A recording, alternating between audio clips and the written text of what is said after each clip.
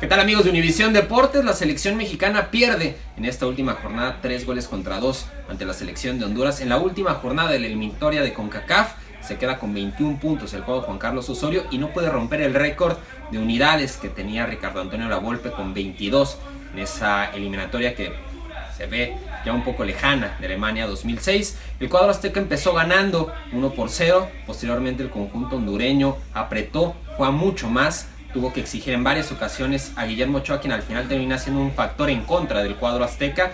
Un triunfo por parte del conjunto hondureño que los mete en la repesca gracias al gol de último minuto de Román Torres. Y ahora será el cuadro Catracho quien deberá jugar el repechaje, esta repesca que se disputa en la próxima fecha FIFA de noviembre.